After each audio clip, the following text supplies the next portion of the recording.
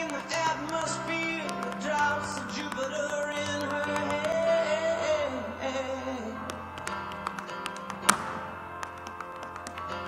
She acts like someone.